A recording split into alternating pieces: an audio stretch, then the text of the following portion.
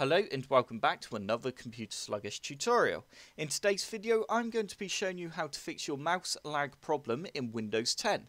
To start off with all you need to do is go down to the bottom left hand corner of your screen and right click and go to device manager.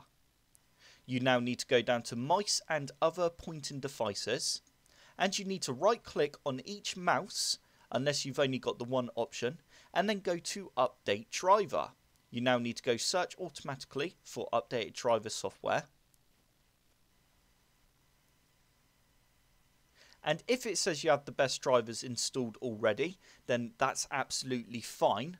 But obviously, if you don't have the latest drivers installed, then install the latest drivers and see if that fixes the mouse lag. If it doesn't, then you now need to right click on your mouse and you need to go uninstall device and you need to go uninstall. Once you have uninstalled the mouse, you need to unplug your mouse and then plug it into another USB port. And this will begin the process to install the new drivers again for your mouse.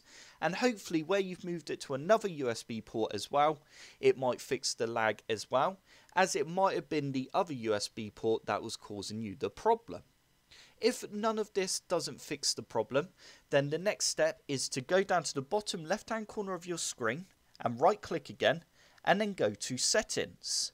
You now need to go to devices and you need to go to mouse.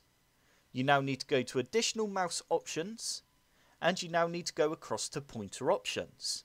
You now need to unenable this enhance pointer precision just simply untick it. And also, apparently, if you enable pointer trails, this can help fix the problem as well.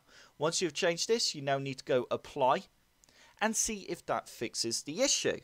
If you are still getting problems with mouse lag, the next option is to unplug your HDMI cable from your graphics card and try it in a different slot on your graphics card, if you have two HDMI ports that is. And also do the same on your monitor. If you have two HDMI slots on your monitor, try the other HDMI port, as this is what could be causing you the problem. If that doesn't work, then you could always try another HDMI cable as well, just in case the one you've got is broken. I hope this video helped. If it did, hit the like button below and subscribe for more computer sluggish tutorials.